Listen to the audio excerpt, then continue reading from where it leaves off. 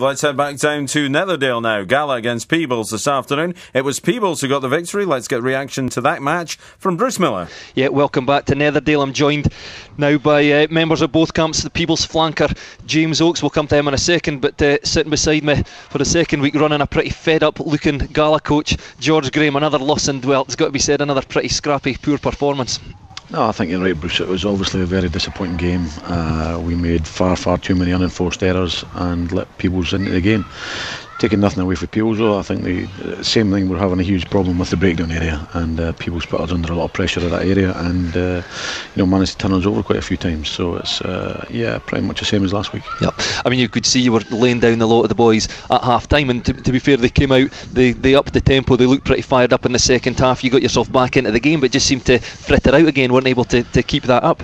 Yeah I think it's just that consistency of uh, you know that mental attitude that once you've scored you've got to come back and just don't rest on your laurels and as I said, once again, I thought uh, done very well because, like anything else, we let them back in the game and they went and scored pretty much every time we scored. And you, you can you can't let other teams just come back into it once you get your nose in the front. And uh, unfortunately, that's what we've done. Yep. I mean, it's two losses out of two were very early in the season, but it, it's got to be turned round. I mean, can you pick some positives out of that? Uh, yeah, I think there's a few things. I think we're showing little signs of where we want to go, uh, but I, I, wouldn't really like to say much about it, to the truth, because there wasn't a lot. There wasn't a huge amount. I mean, there's still lots of things. We've got lots of injuries, but you know, not using that as an excuse. But I think when a lot of these players get fit and come back in, I think we'll see a different uh, shape to our side. But at the moment, we've got a hell of a lot of work to work on and uh, a lot of things to rectify. One man I thought looked a lot better today, your captain. You always looked at to, to give the boys a lead. He spent a lot of time. We thought a bit, maybe a little bit too wide last week. He was taking ball, you know, off, off nine and a little bit closer in this week. And there's guys I think probably learning to play with him, and, and he was putting a lot of guys through into space. Well, we obviously identified that with OP. I think he was frustrated last week against Jed, and he wanted to get his hands on the ball as much as he could. Uh, and as, as fit as he is, I think he can't just keep carrying on. So we decided to get runners off in nine and off of ten, and which is a bit more down his alley. And just people haven't recognised that he is a very good quality player, and you have to run off him to receive the ball. And a few times it happened, but I think once again I thought Peebles done exceedingly well to contain a, a player of OP standard, uh, and, and all credit to them. Yeah, well, George, thanks very much for, for coming talking to us. Uh, better luck next week. Let's just bring in Peebles now. We've got Peebles flanker James Oakes standing uh, waiting on us here. Well, five points regardless of, of your performance. Got to be pretty happy with the win there. Yeah, it's good to good to get five points down here. Um, I know last year we really struggled, so we had a bit of point to prove to come back and get a win here.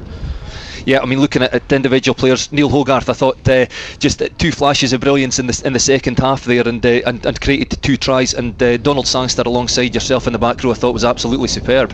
Yeah, well, we always know that uh, outside backs uh, have got a bit of firepower, so we just if us forwards can get them on the front foot and spin it wide, we know we can get the rewards out wide.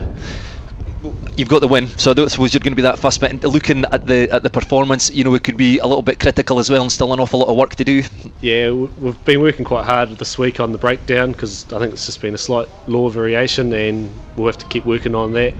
And as far as our lineouts go, we just we've got a few new ideas that we're trying to bring in, and you know, take a few weeks to get them going back to the gates next week, and very disappointing to lose there last weekend. But I mean, you're, you're obviously looking to turn it back into the fortress it's, that it's been for the last couple of seasons. Yeah, well, we've only lost there twice in the last three years, so we want to keep maintain that standard and you know push forward and get up to the top of the table.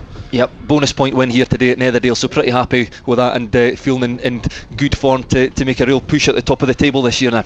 Yeah, definitely. We've got a new few new guys in. We've got a second rower and also got an outside centre, but uh, probably most mention is our halfback and standoff because they're just young guys, 18, 19, and really they stepped up today, and we look for them to you know continue on that pathway.